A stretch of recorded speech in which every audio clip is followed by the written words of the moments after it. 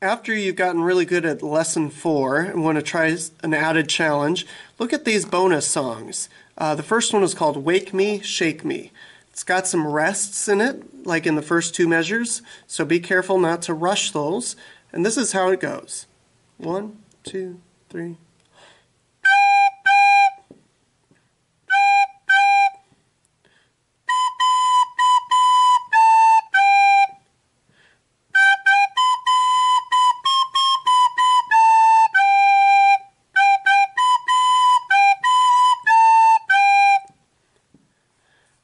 You notice sometimes the G's that I played, like in measure one, got a little crackly. Um, I was just blowing too hard. So you got to be really relaxed and um, not blow too hard on the G's.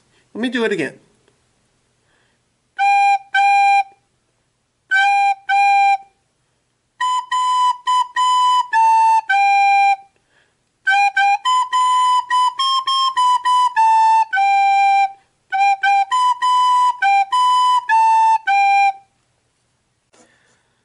The second bonus song for lesson four is, is There is a Redeemer.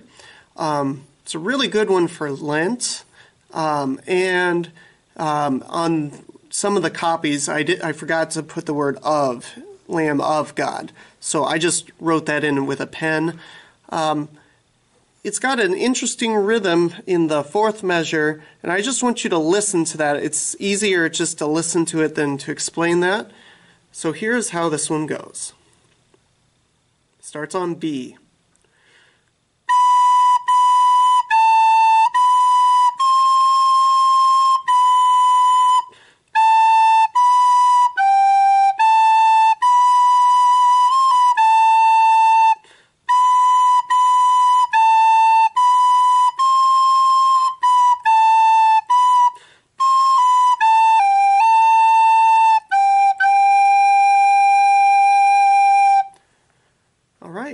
It was not perfect by any means, but that'll give you an idea.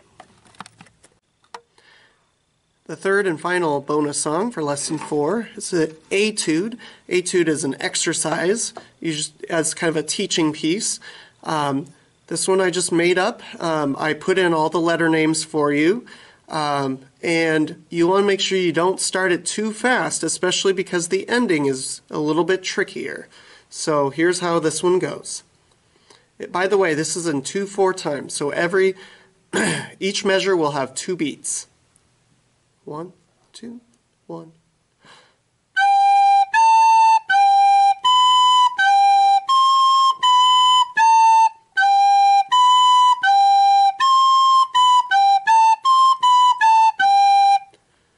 And what you might find is you're going to have to maybe practice the last couple measures slowly.